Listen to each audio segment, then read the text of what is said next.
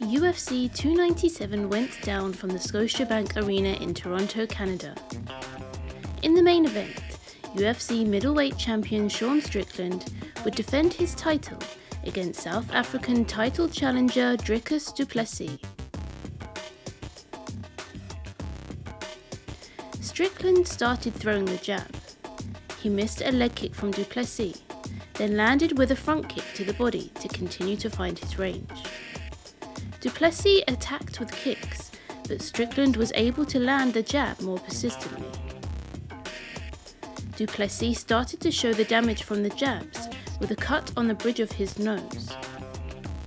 Du Plessis continued to attack with the kicks, then went in for a takedown attempt. Du Plessis got Strickland down to the canvas, but Strickland fought to get back up to his feet after a second attempt from Du Plessis. Strickland continued to land the jab and a big combination to finish the round. In round 2, du Plessis attacked with overhands and his calf kicks continued to get checked by Strickland. Strickland's jab remained as effective as in round 1, leaning and avoiding oncoming fire from du Plessis. But du Plessis caught Strickland near the end of the round with a left hand. He shot in for a takedown attempt getting Strickland down to the canvas again. Strickland was now bleeding from the left hand landed by du Plessis, but he fought his way back up to his feet where they finished the round. More high kicks came from du Plessis in round 3, but his face began to show more signs of damage from Strickland's jab. Du Plessis began to up the pace, pushing forward with big shots. Dricus poured on the pressure in round 4, landing a right hand that cut Strickland under his eye.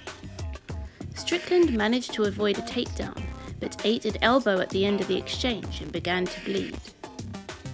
They met in the middle, both exchanging in the centre of the octagon. Dricus got Strickland down with a leg trip, then later again with another takedown, dragging him back down and controlling him. Strickland defended two more takedown attempts from du Plessis in round 5, then began to pour it on.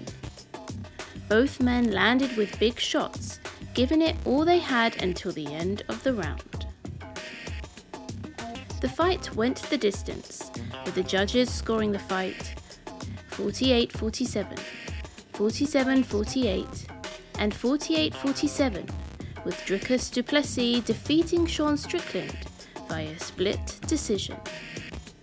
Dricus du Plessis becomes the first South African champion and looks to defend his title against Israel Adesanya next.